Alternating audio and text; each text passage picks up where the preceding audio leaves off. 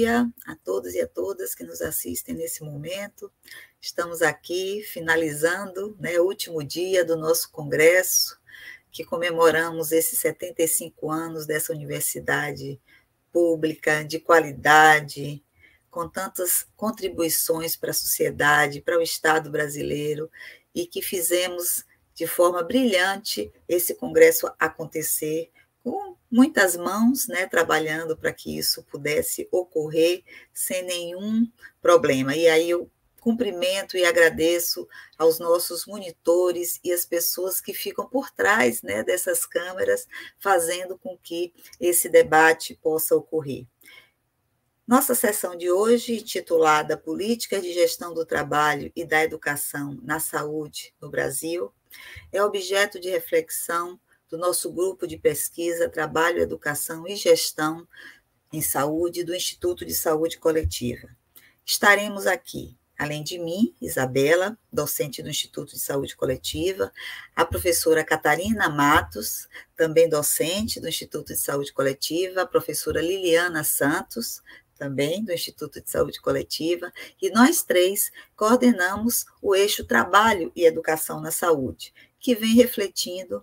nesses anos, nesses últimos anos, sobre toda a trajetória dessa área de pesquisa, dessa área de prática institucional e, vem, e acompanhando também o desenrolar dessas políticas a nível é, federal, a nível do Ministério é, da Saúde, que é objeto também de nosso observa, do nosso Observatório de Análise Política em Saúde. Esse observatório foi apresentado aqui nesse congresso, portanto, ele tem 12 eixos, e um deles é o eixo Trabalho e Educação. Vocês podem, inclusive, acessar, se quiserem, obter dados, maiores detalhes sobre o que vamos conversar nesse pouco tempo que temos, que a mesa, nossa mesa é de uma hora, então nós vamos trazer aqui algumas informações, inclusive desse acompanhamento que fazemos. É importante né, destacar inicialmente, entender a importância e o lugar dessa área para a existência e consolidação do SUS. Então, assim, nós iniciamos a nossa abordagem aqui nessa mesa. Então, ao falar da área do trabalho e da educação, nós temos, em primeiro lugar, que reconhecer o trabalho e a educação como áreas estruturantes e estruturadas de saberes e práticas atravessadas por fenômenos diversos que permeiam as relações sociais que se estabelecem entre os sujeitos que realizam as suas práticas. Tomar o processo de construção dessa área, a história dessa área como referência, é fundamental porque nós recuperamos uma trajetória que possibilitou a construção e o fortalecimento e o amadurecimento teórico-conceitual da área trabalho e educação na saúde. E, ao trazer e ao refletir sobre essa trajetória, analisar o momento atual, as perdas que temos tido, os retrocessos que têm acontecido e os riscos existentes, mas também pensar que estratégias e ferramentas devemos desencadear para as mudanças tão necessárias a essa área, tanto quando nos referimos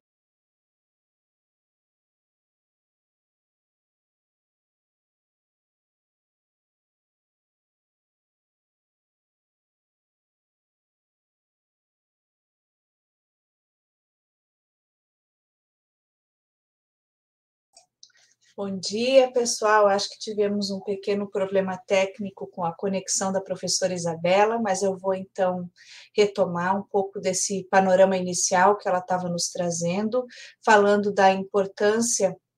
dessa conexão entre a área de trabalho e educação para a consolidação do Sistema Único de Saúde e do quanto essa política vem sofrendo um conjunto de ataques e ameaças nesse período que vimos acompanhando a política pela nossa ação. Voltei. Oba, bem-vinda, do Observatório de Análise Política. Estava resgatando um pouquinho essa trajetória de acompanhamento da política, da função estratégica da área de trabalho e educação e da nossa preocupação enquanto pesquisadoras com o conjunto de ataques que essa área vem sofrendo. Lhe devolvo a bola, então, Isabel. Continuando, é, eu espero que vocês não tenham perdido muito da, da, da, da, na hora que eu caí, mas nós não podemos, eu dizia que nós não podemos deixar de ressaltar né, esse amadurecimento da área, esse amadurecimento teórico, é, conceitual, que está atrelado à localização desta temática e à importância dela na agenda política da reforma sanitária brasileira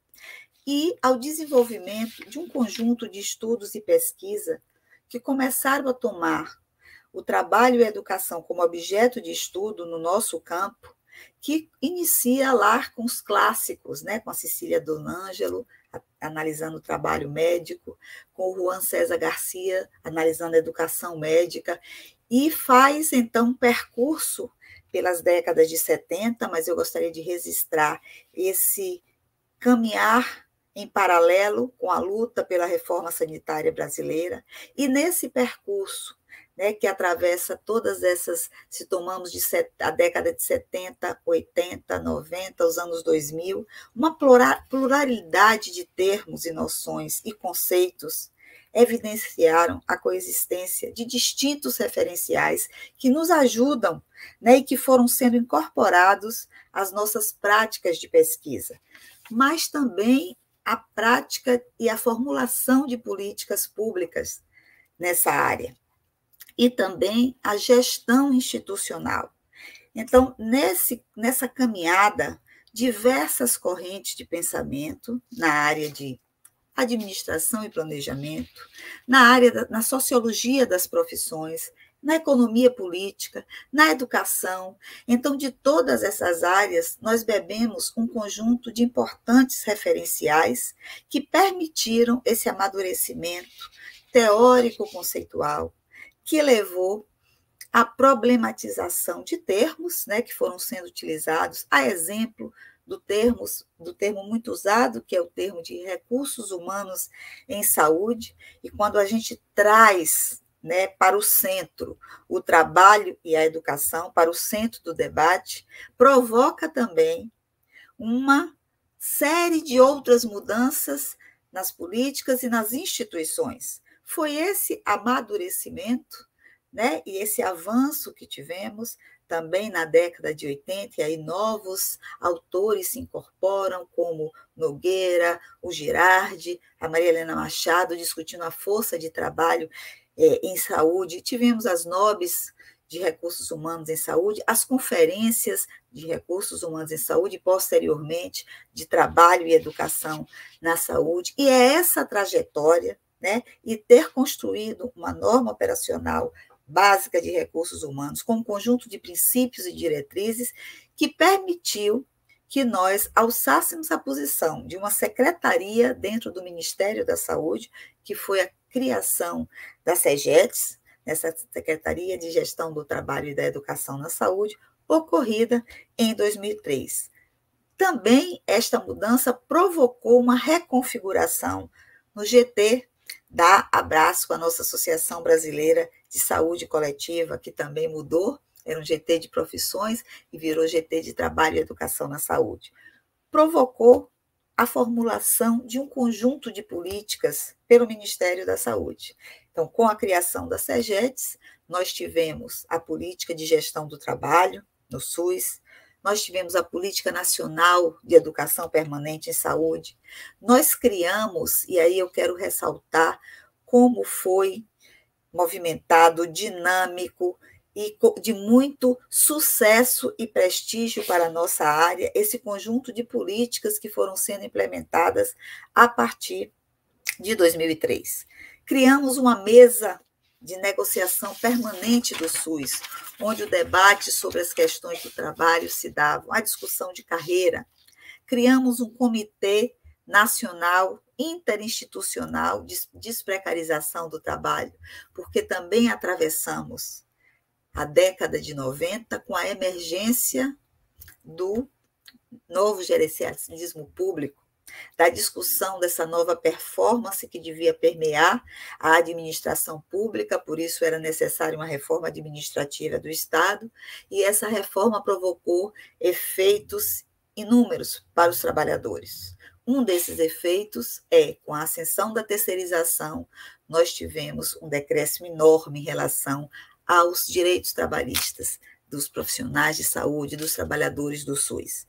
Isso provocou um crescimento enorme das relações precarizadas, o que nos fez, enquanto pesquisadores, começar a problematizar também essas, esses elementos e essas questões que apareciam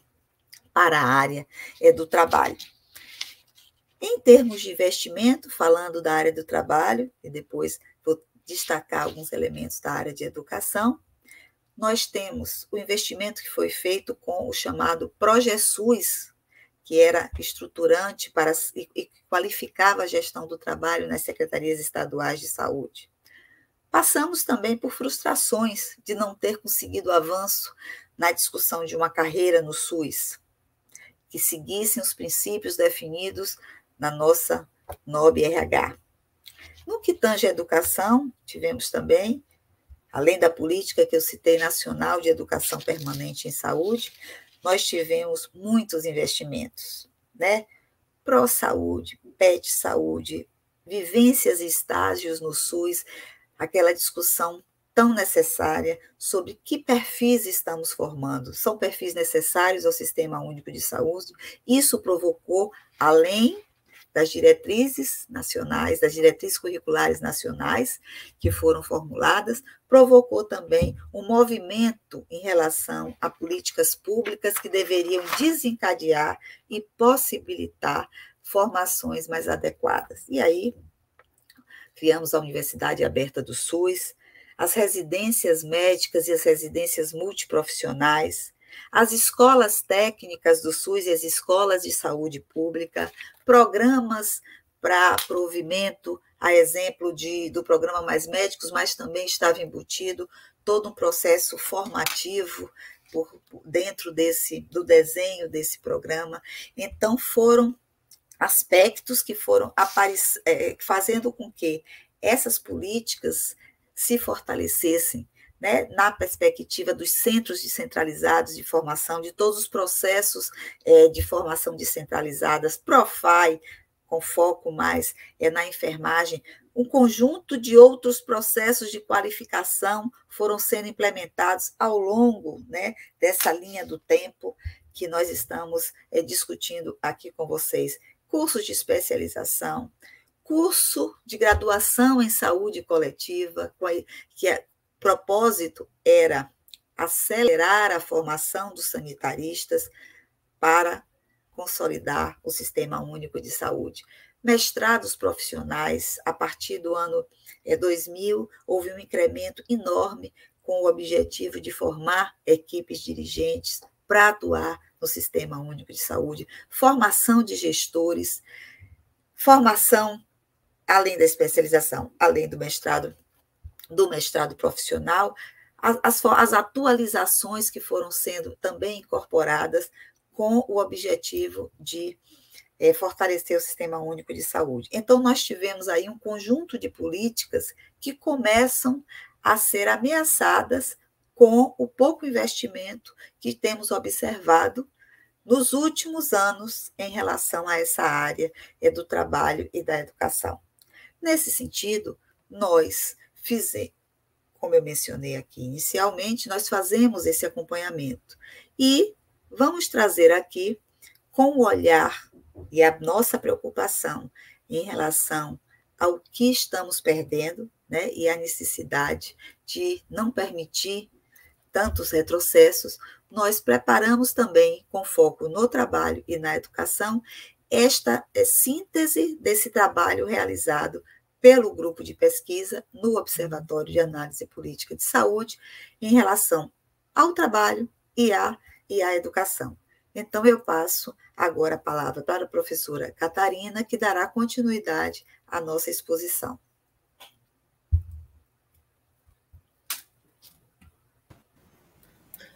Bem, bom dia, bom dia a todos. Obrigado, professora Isabela, colega querida. Um prazer incrível estar dividindo essa mesa com Isabela e Liliana, duas colegas muito queridas. É, foi muito bom começar, né, ouvindo, Isabela, você fazer esse resgate, né, sobre a, a nossa área, né, de trabalho e educação, porque ao revisitar os textos, né, nós produzimos, pessoal, um, um processo de acompanhamento que produz quatro textos, né? um texto de implantação de políticas, um texto de financiamento, um texto que é, busca compreender como se deu a, a participação social, e um último que aponta um conjunto de resultados para a área dos últimos anos.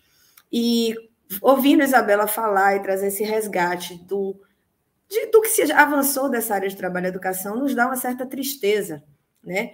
Ao acompanhar os últimos três anos e tentar aqui destacar os fatos principais, os principais fatos políticos que foram produzidos é, por essa área, né, pelo conjunto de atores, na verdade, eu acho que é importante destacar que o nosso acompanhamento se dá pelo conjunto de atores é, que, em alguma medida, fazem é, e provocam né, ações e processos na área de trabalho e educação.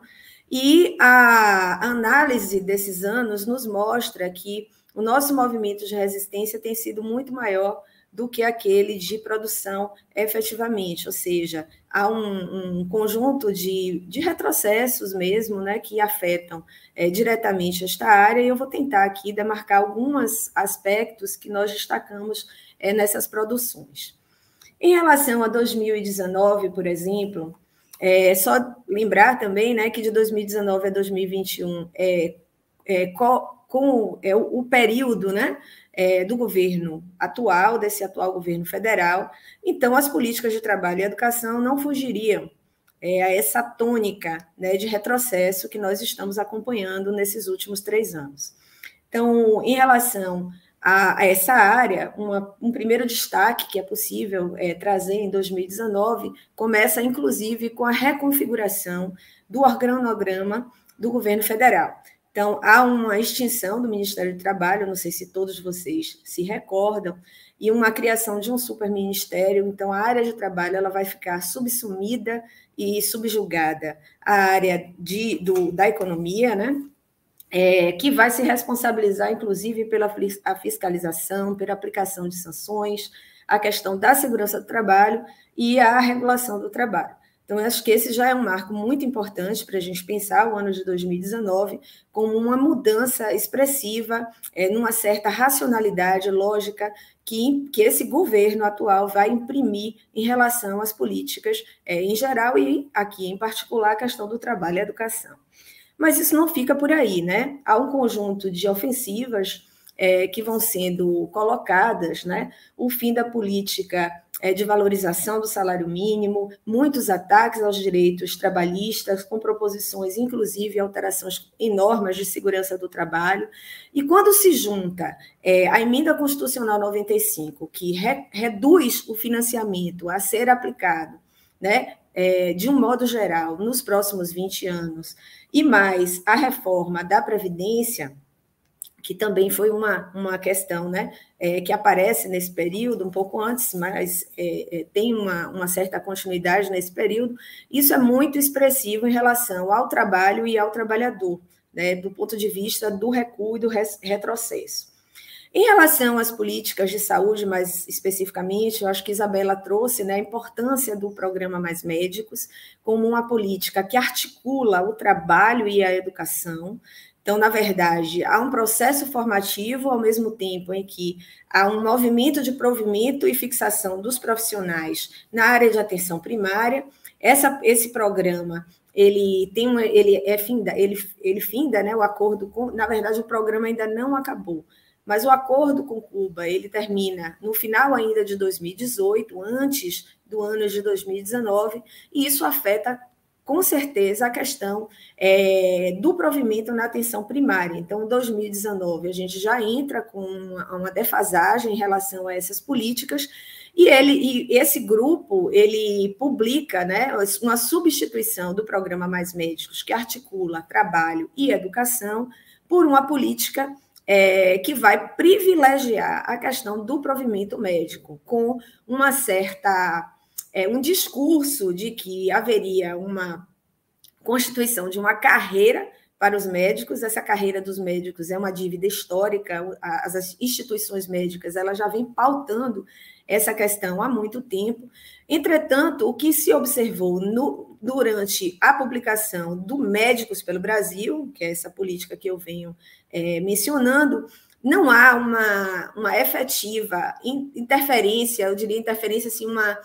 uma construção dessa carreira. Na verdade, o que se criou é, é outra coisa, é, embora né, a, a, Constituição da Agência de Atenção Primária, né, que está sendo proposta, ele traga a ideia de construir um CLT né, para a contratação dos médicos. Mas eu acho que isso ainda é uma pauta a ser estudada. Isso fica um pouco no forno durante um período, e agora, em 2021, é que se resgata o Médicos pelo Brasil. Recentemente foram é, constituídas, né, foram publicadas portarias novas que vão dar sequência à implementação desse processo. Então, acho que é um, um, um ponto que a gente vai ter muito que estudar nos próximos anos.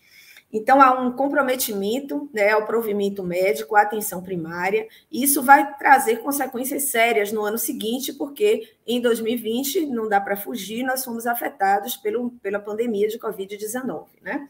Bem, é uma questão que, em relação ainda ao mais médicos, é um ponto de constrangimento, é um ponto, era né, um ponto muito, um debate muito forte e um objeto de disputa das instituições médicas com é, a, a, o, o, executivo federal era o fato de desses médicos serem contratados sem realização do exame, o revalida. Então, uma outra pauta que entra em 2019 foi a regulamentação desse exame. Então, o Revalida ele é regulamentado, é constituído é, um, um, modus operandi para ele, né, em, em, dois momentos, um teórico e um prático, em que um momento depende do outro. Então, isso, é, de certa forma, é uma vitória para a corporação médica. Né, e ele fica sob a, a organização do Ministério da Educação. É, uma coisa que é importante destacar, até porque em 2020 nós vamos tratar e abordar a questão da pandemia, é que desde 2019 já havia um certo movimento intenso em incorporação de tecnologias, seja para a realização do trabalho, então há um movimento de incorporação da telemedicina, do, do teletrabalho, ele traz essa regulamentação, e também da educação à distância, né, como um movimento é, deste governo federal e uma questão que nos preocupou né, lá em 2019, que eu acho que ainda é um, um motivo de preocupação, é como que essas coisas se incorporam na área da saúde. A pandemia nos desafiou a incorporar tecnologia para o dia a dia dos processos educativos, mas é, nós chegamos né, até aqui com a, a clareza de que muitas questões é, e muitos processos de formação ainda carecem de movimentos presenciais, de interlocução, de relação né, com o campo, com prática, com a realidade. E o, o, a educação à distância ela não pode substituir é, todos os movimentos é, em relação a isso. Bem, em relação à questão que eu acho que a gente pode contar como um certo avanço, ainda que não tenha sido é, um, uma, ele não tenha sido instituído em 2019, mas em 2018 ainda houve uma articulação, inclusive, com o nosso instituto, o Instituto de Saúde Coletiva, para discutir a política de educação permanente, né, a, a sua a, a, princípio era revisão, mas, na verdade, é, acabou não sendo a revisão, porque a conclusão da primeira fase da pesquisa mostrou que a política de educação permanente ela não necessitava de uma revisão, mas que a gente precisava aprofundar a discussão sobre a avaliação dessa política, dessas práticas. Então, houve todo um avanço no território nacional em relação a um movimento de construção desses indicadores de é, é, monitoramento e avaliação para a política de educação permanente, que culmina agora em 2021 com a formulação desse painel de indicadores já é, encaminhado para o Ministério da Saúde é, com nossa participação, coordenada inclusive pela nossa querida professora Isabela, mas num processo participativo que envolveu todos os estados da federação. E eu acho que essa questão é muito importante de destacar, porque a participação é algo que a professora Liliana vai dar maior ênfase, mas a gente tem percebido que há um constrangimento é, do ponto de vista das limitações das forças é, que partem desse Executivo Federal, da participação é, dos vários atores, particularmente aqueles da reforma sanitária e aqueles que estão é, em prol do SUS. Né? Eu acho que pode é, ser isso, é, trazer essas questões. Bem, em 2020,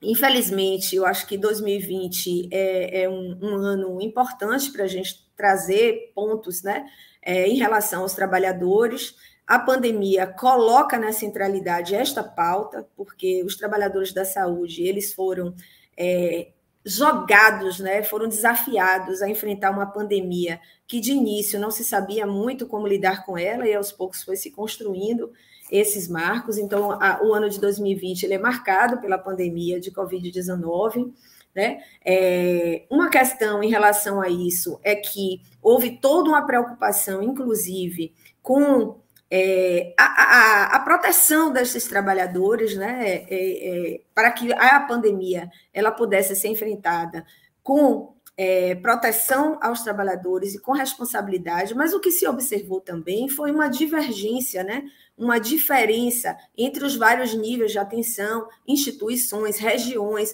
Então, a, a, a, proteção dos trabalhadores no enfrentamento à pandemia também foi uma questão é, muito diferenciada em relação às instituições, aos hospitais, às, às categorias né, profissionais de um modo geral. Então, fizemos aí adaptações importantes nos processos de trabalho né, dos, das instituições, foi muito é, necessário essas questões. É, editais emergenciais também do Mais Médicos. Veja, a pandemia chega no território brasileiro com um cenário da atenção primária totalmente despreparada, porque havia um esvaziamento né, do provimento em função é, dos, dos, elementos que eu falei aqui anteriormente, então houve muitos editais é, emergenciais para compor, recompor essa força de trabalho na atenção primária. É, uma questão também importante é, em 2020 foi a, a formulação do, do, eles chamou, chamaram assim, Ação Estratégica Brasil é, Conta Comigo, que vai trazer focos em diferentes é, categorias e também formação, não é, não tem, tinha a ver com formação também, mas assim, é, graduação, residência, né, e profissionais, estabelecendo inclusive um cadastro de profissionais, pensando aí é, diferentes, foram 14 categorias profissionais que estavam é, vinculadas né, e solicitadas nesse momento. Uma questão também que a gente pode estar destacando é a capacitação de profissionais. Houve aí um conjunto de instituições que se mobilizaram para para construir né, processos formativos. É, eu acho que vale destacar todo o papel das escolas de saúde pública nesse período, a OPAS, a ENSP, né, Escola Nacional de Saúde Pública. Então, teve todo um movimento de capacitação e de construção é, de, de, processos né, de educação permanente para qualificar os profissionais diante da pandemia. É, e uma coisa que não dá para esquecer é que as instituições, né, elas enfrentaram sim falta de EPI, Portanto, risco e contaminação dos profissionais de saúde foi uma pauta muito é, trazida à tona, mas, de certa forma, negligenciada em alguns aspectos, até, obviamente, que a gente está tratando pelo do governo federal, mas eu acho que a gente pode também é, ver como essas abordagens foram feitas ao longo dos demais é, estados. Né? Então, houve muita heterogeneidade nas condições de trabalho, eu acho que eu já mencionei isso, né? e os retrocessos em relação as, aquilo que o professor Jainilson fala muito,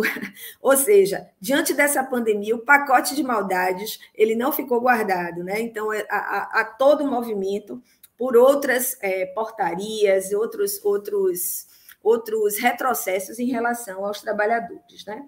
Uma questão também que eu acho que vale a pena é, mencionar é a regulamentação do trabalho à distância. Eu disse que isso já se inicia em 2019, mas 2020, com a pandemia, é, nós fomos forçados a isso. Então, a questão do telemonitoramento, teleorientação, a teleconsulta, ou seja, o trabalho mediado por tecnologias, ele aparece como uma ideia força neste ano. Né? É, isso traz também transformações para as práticas pedagógicas e para as práticas de ensino. Né? É, do ponto de vista negativo, a gente pode estar destacando que foi um ano de muitas perdas, por exemplo, de bolsas de pós-graduação, é, mas pô,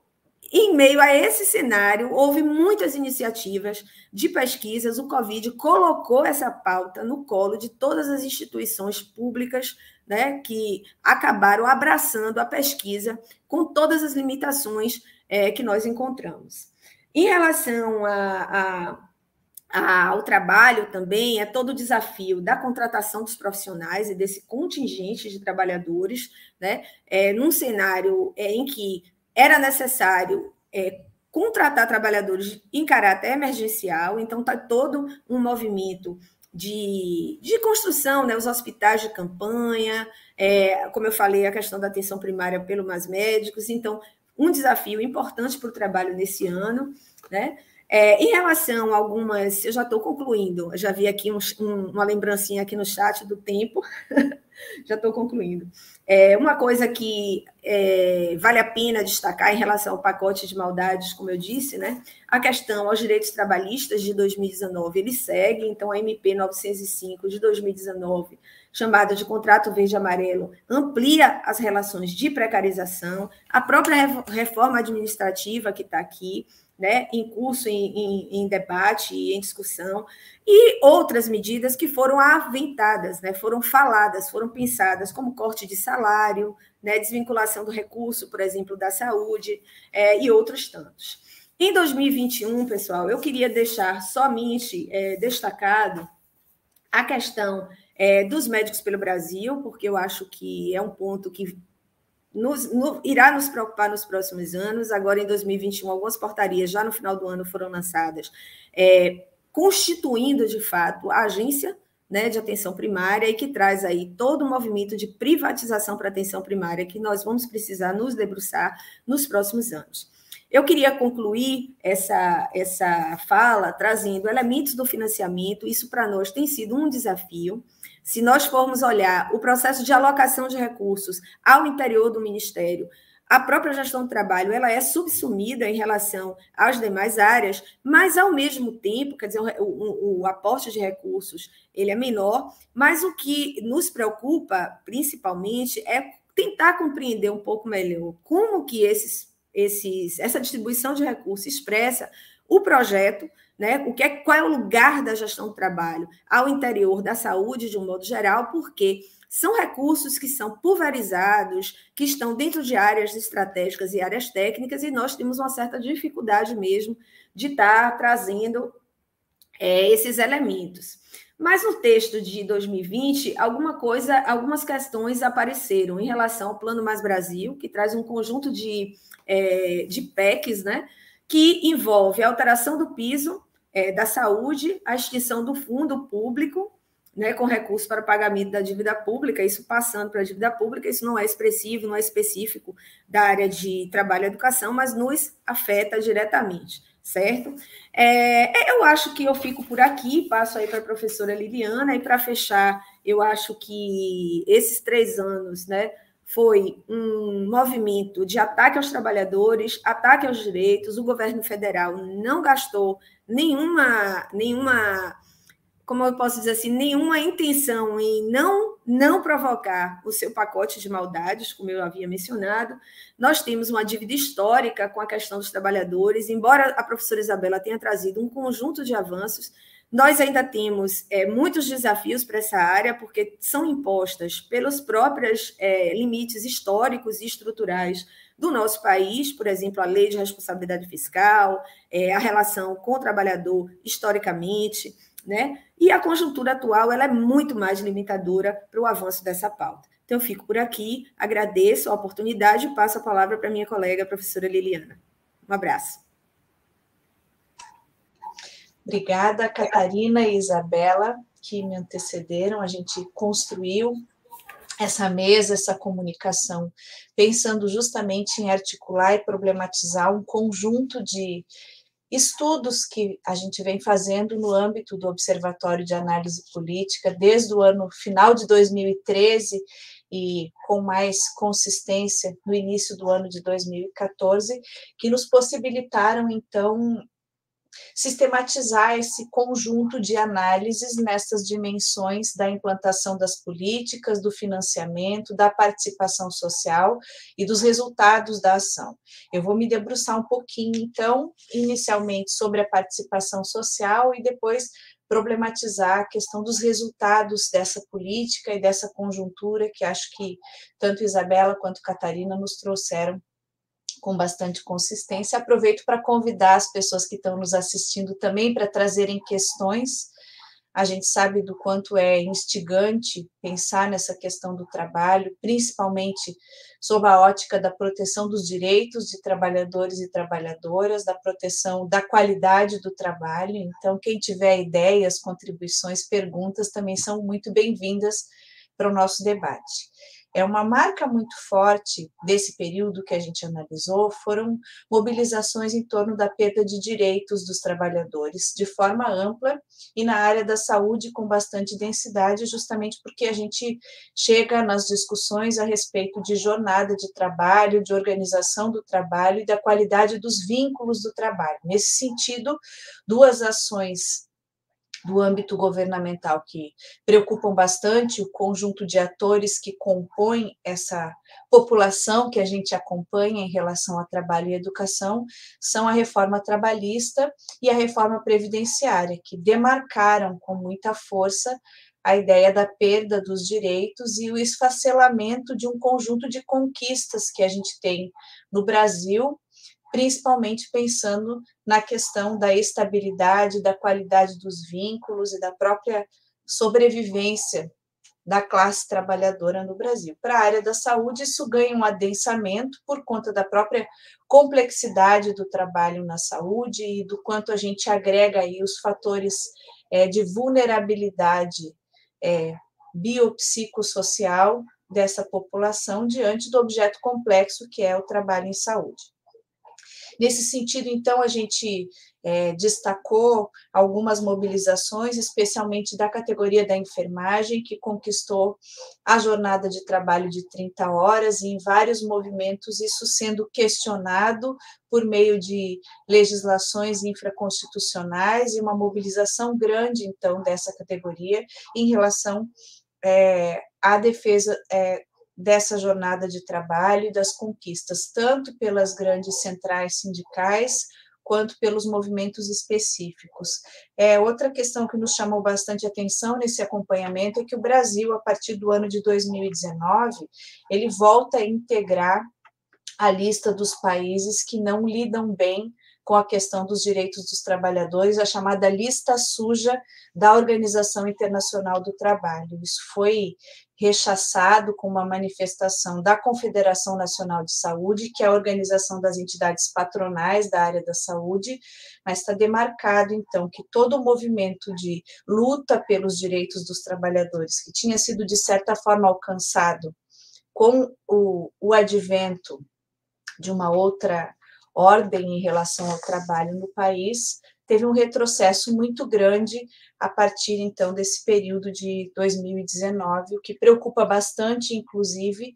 em relação à posição do nosso país no cenário internacional, pensando nos, nos direitos dos trabalhadores. Em relação à educação, também nós podemos perceber, no que tange a essa questão da participação social, intensas manifestações em defesa da educação pública de forma ampla, em especial do ensino das ciências humanas. A gente teve um conjunto de ataques, de retirada do ensino das ciências humanas, tanto no ensino médio quanto no ensino superior,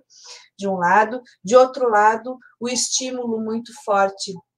das estratégias de educação à distância como algo possível para a área da saúde, e, de outro lado, várias organizações, inclusive o Conselho Nacional de Saúde, com posicionamentos contrários a ideia da educação à distância como uma alternativa viável para a formação de profissionais de saúde, dado o caráter relacional e a necessidade do encontro face a face, inclusive para a constituição de práticas de saúde que sejam humanizadas, conectadas com as necessidades da população e, de fato, produzam não só a cura das doenças, mas sim de forma mais ampla que produzam saúde. Nesse sentido, então, várias manifestações também foram é, coletadas nesse processo que a gente tem cotidiano do observatório, que é de resgatar posicionamentos públicos, coletar notícias, sistematizar essas informações também e fazer análises diante dos referenciais que nós utilizamos, que colocam essa reflexão a respeito do direito à educação e a educação de qualidade como algo central para se pensar a política da gestão do trabalho e da educação. Outra questão, a professora Catarina já trouxe a ideia dessa transição entre o programa Mais Médicos e o programa Médicos pelo Brasil, também com manifestações de distintas ordens, pensando na ideia de que o programa Mais Médicos não tratava só de provimento e fixação, mas era uma estratégia que pensava na mudança da formação dos profissionais, condicionava a abertura de novos cursos à oferta de programas de residência na área de família e comunidade, dialogava com um conjunto de estratégias na perspectiva do fortalecimento da atenção primária à saúde, do fortalecimento do trabalho em rede, e que a, a política que está sendo implantada, o Médicos pelo Brasil, nos fala de uma outra estratégia que é simplesmente o provimento de médicos, e isso é falado por várias entidades como algo bastante preocupante. O ano de 2019 também foi o ano que se marcou esse início da reforma da política de atenção básica, que culminou agora com o ano de 2021, com a criação da agência, que a professora Catarina também já mencionou, nos coloca em um grau de mobilização e alerta, pensando na perspectiva muito próxima de privatização da atenção básica, o que também tira é, do poder público, da discussão, da possibilidade de participação, a condução da própria política de saúde no nosso país. É, a tônica dessa discussão a respeito da defesa da saúde, da manutenção de princípios que foram conquistados com o movimento da reforma sanitária, principalmente com a oitava Conferência Nacional de Saúde, tem sido, nesses últimos anos, é, puxada pelo Conselho Nacional de Saúde, que incansavelmente propõe pautas de defesa do SUS e de enfrentamento das políticas mais ofensivas do nosso governo federal, e também por sua comissão, né,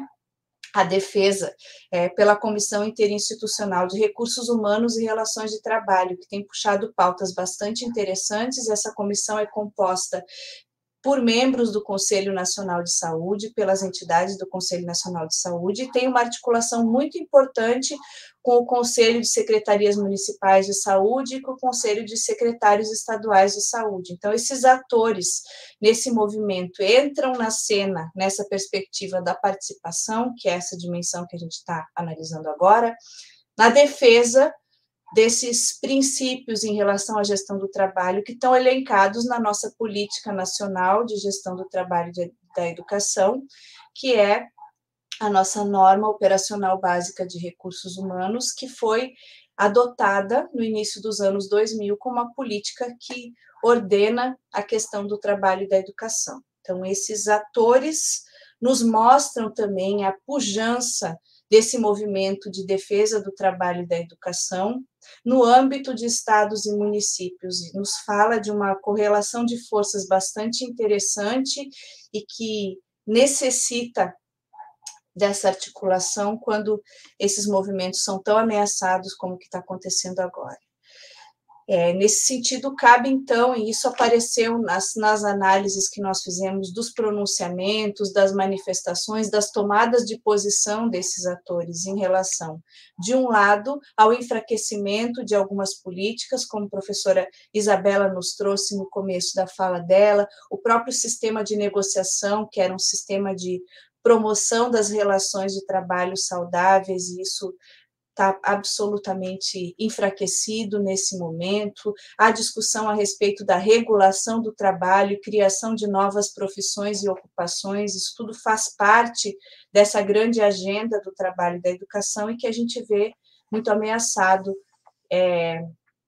nesse atual período. Então, são questões que nos, nos colocam preocupações importantes. É, outra frente que a gente identifica com bastante preocupação é a questão da formação dos profissionais. Existia um movimento bastante denso do início da década dos 2000 de reformulação das diretrizes curriculares nacionais, pensando na perspectiva do trabalho interprofissional, da articulação entre as diferentes formações para que se atingisse a ideia da integralidade do trabalho, do trabalho em equipe, da organização do trabalho a partir das necessidades sociais de saúde, e isso tudo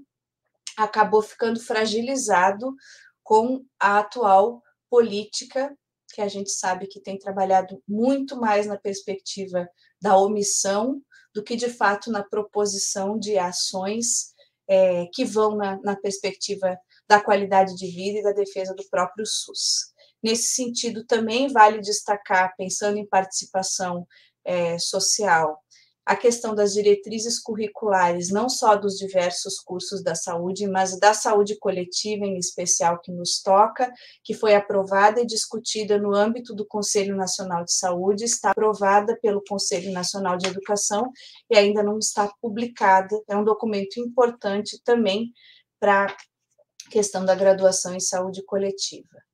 É, como a gente sabe desse contexto todo da pandemia e da dificuldade que tivemos de manter a presencialidade do curso, dos cursos de formação na área da saúde, algo que se enfrentou de 2020 para cá foi a condição objetiva de trabalhar com a perspectiva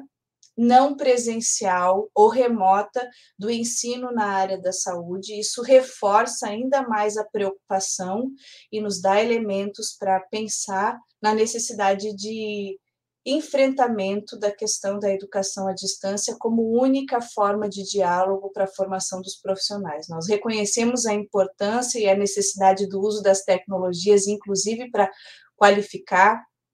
as interações possíveis, para possibilitar os intercâmbios, para nos oferecer um conjunto de ferramentas qualificando o nosso trabalho, pensando no acesso, na comunicação, na diversidade, mas de outro lado defendemos a ideia de que a educação e a formação dos profissionais de saúde necessita da presencialidade, necessita do encontro, e isso ficou muito exacerbado com o processo da própria pandemia, algo que foi identificado no nosso acompanhamento também como objeto de preocupação, em especial das associações de ensino das profissões da área da saúde. Aí, fechando esse bloco da participação, uma coisa que na nossa análise ficou bastante evidente é a qualidade das ações de participação. A gente tratou de dimensionar e analisar essa qualidade das ações de participação no âmbito do trabalho da educação entre ações defensivas e ofensivas, pensando nas defensivas como reações diante de posicionamentos, especialmente do governo, e as ofensivas como ações de iniciativa da organização da sociedade civil, das associações, das próprias instituições e organizações dos trabalhadores, é, no sentido mais propositivo de defesa da, da cidadania, de defesa da democracia na constituição das políticas públicas, e o que nós percebemos é que a natureza dessas ações de participação é, em sua grande maioria, defensiva, ou seja, reação diante das tomadas de posição dos governos e não proposição cidadã é, de modos de funcionar da própria organização do trabalho. Isso nos coloca também uma questão importante nesse contexto de ameaça da democracia, de negacionismo, de obscurantismo, e uma preocupação muito grande em relação a essa dimensão é a capacidade organizativa e de reação da sociedade civil. Então, algo que nesse processo de estudo a respeito da participação nos tocou bastante foi a ideia de que estamos muito mais reagindo do que propondo. e acho que nos coloca também um desafio já na perspectiva dos resultados, que é criar agendas de organização da sociedade, dos trabalhadores, do movimento estudantil, para que de fato a gente consiga engendrar outras formas de existir diante da conjuntura que se avizinha, que também não é muito diferente ou muito mais suave do que a gente tem vivenciado até agora. Então, analisamos que vínhamos em um processo de enfraquecimento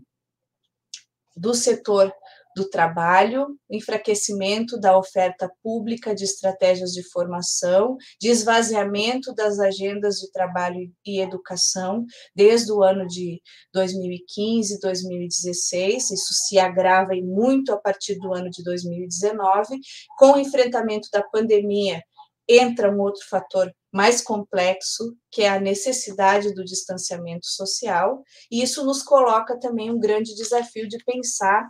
as formas de participação e organização e, e articulação diante disso. Em relação à educação permanente, vale destacar também a ideia de que tivemos um tímido investimento na perspectiva da criação é, de estratégias de monitoramento e avaliação e dos planos de educação permanente junto aos estados, mas é necessária também a manutenção dessa organização e articulação.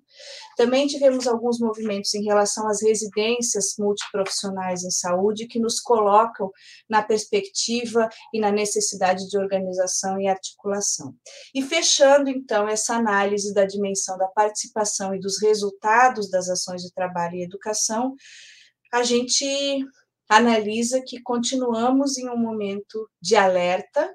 de vulnerabilidade de ameaças ao SUS de forma ampla e à gestão do trabalho de forma muito delicada e específica, pensando na flexibilização das relações de trabalho, em uma reconfiguração importante do mundo do trabalho, pensando aí nas formas de organização do próprio capitalismo na contemporaneidade, e isso nos coloca em um lugar de reflexão e de ação na defesa dos direitos e na defesa da vida. Eu vou fechar por aqui para guardar um tempinho para as questões que vocês trouxeram e a gente segue no debate. Muito obrigada. Voltamos então para a tela. Tem um comentário, né, que é da Juliana, que ela refere à questão, estão as questões postas para 2022 em relação à preocupação com a atenção primária, né, principalmente o olhar e o acompanhamento que precisamos fazer, inclusive enquanto pesquisadores, né, enquanto profissionais de saúde, enquanto gestores, que é esse, o Previne Brasil, a discussão sobre o processo de trabalho voltado para o cenário da pandemia, eleições e reflexões sobre o processo de gestão do trabalho da educação, que ela chama atenção. E esse se quiserem esses textos né, que nós produzimos anualmente e que tentamos trazer uma síntese né, dos últimos três anos, naquelas quatro dimensões que tanto é, a professora Catarina como a professora Liliana trouxeram, que é a dimensão da implantação de novas ações, dos resultados alcançados, da participação social e do financiamento, esses textos estão disponíveis é, no nosso observatório. A preocupação da rede APS, aí para Juliana, que tem acompanhado recentemente, teve um, de, um debate é, bastante intenso sobre esses movimentos, o acompanhamento e a leitura né, da, dessa rede APS que compõe a Abrasco, com alguns elementos né, de discussão, provocando, inclusive, a nós todos uma reflexão sobre as consequências né, desses, desses movimentos. A outra questão é do Marcos, que é se foi possível verificar avanços na área de trabalho e educação quando fazemos recorte para os estados brasileiros. Bom, a gente, quando fez a análise do processo de implementação da política de educação permanente, uma das dos resultados foi exatamente da análise né, da, do processo de implementação, e aí nós utilizamos várias é, categorias analíticas, é que você tem avanços diferenciados, sim. Né? Você tem é, estados que estão no processo né, de, de, maior avanço na, no desenvolvimento, na implementação da política, estados que ainda estão né, com um desempenho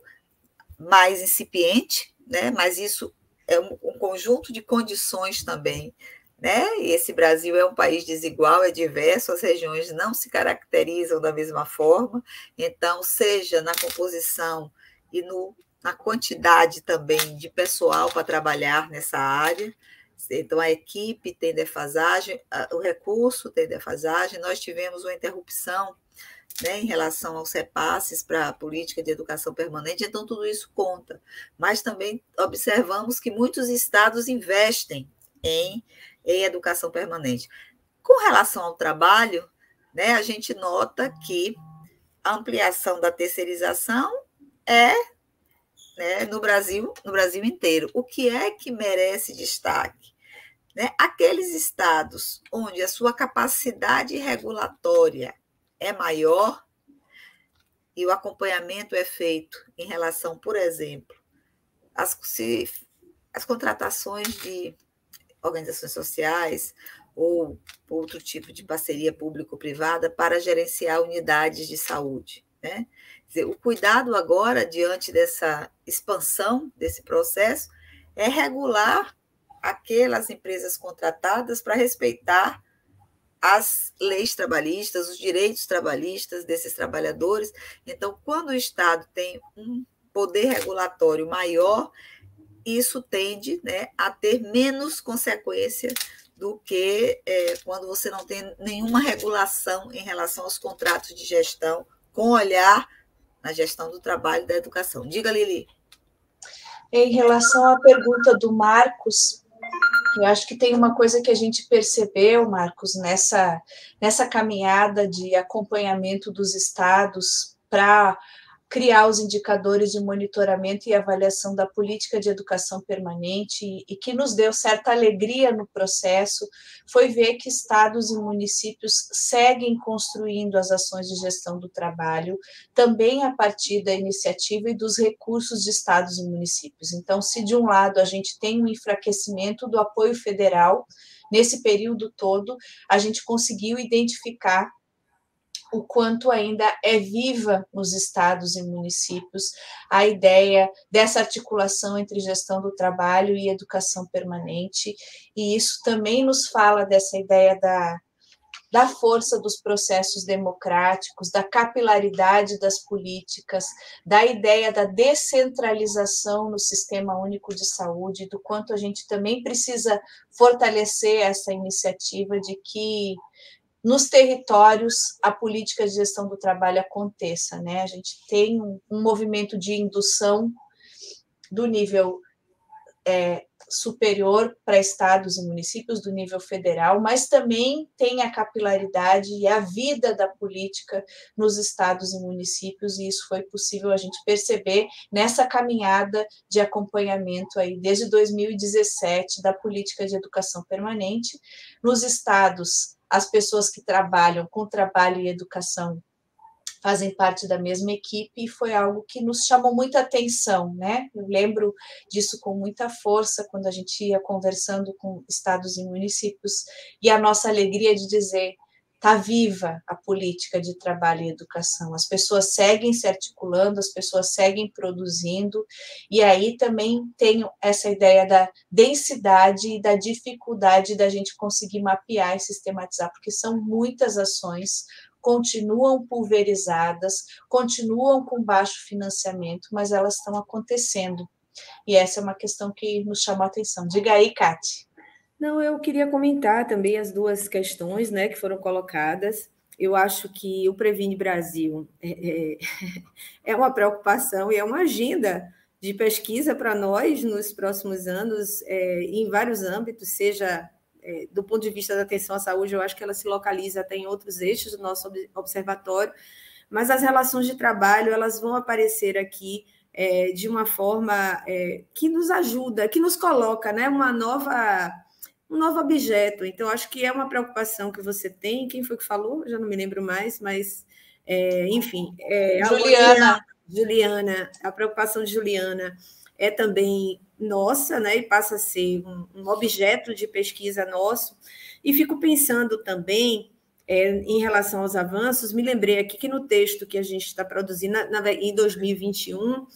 é, pensando nos avanços da política e nas iniciativas, quer dizer, ao mesmo tempo em que não há um incentivo federal, a própria contradição faz com que as iniciativas estaduais elas se fortaleçam. Então, nós é, identificamos, por exemplo, a,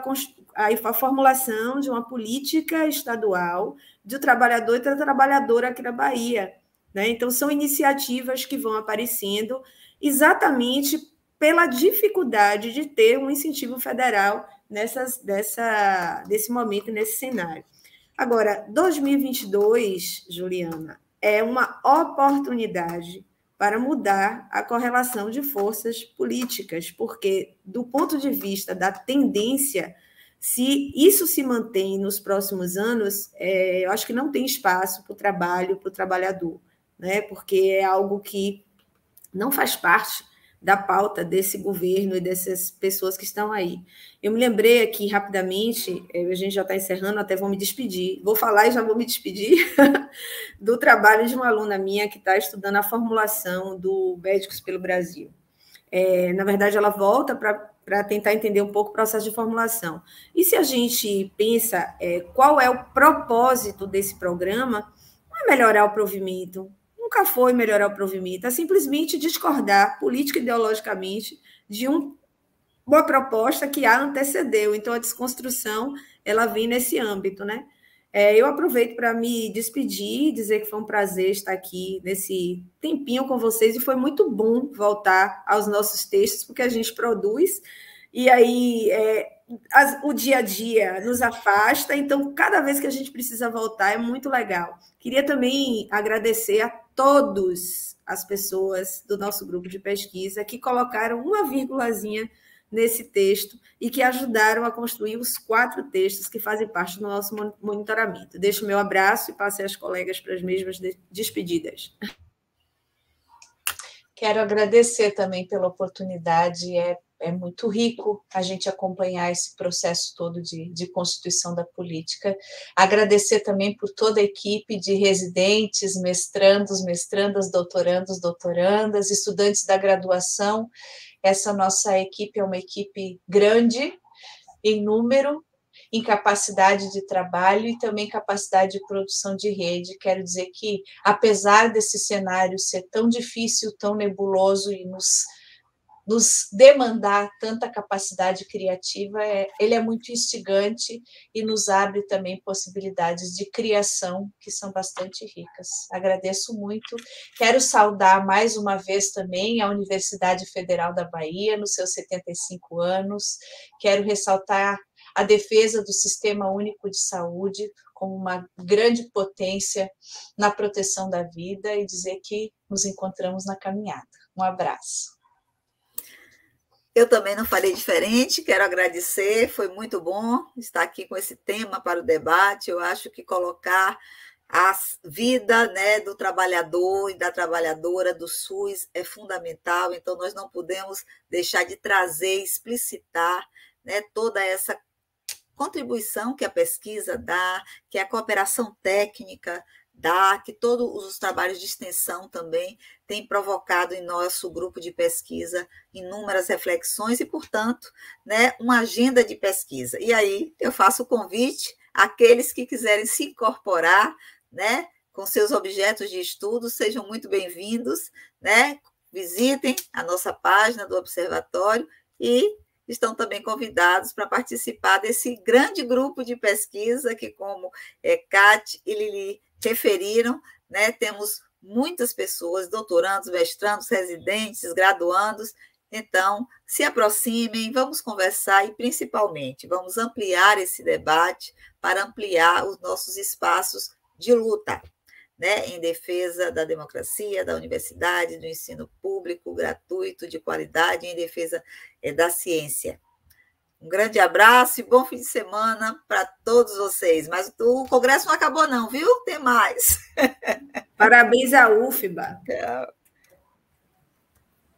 E obrigada aos monitores da sala é, que nos um apoiaram tanto. Um abraço. Um abraço. Tchau, tchau, gente.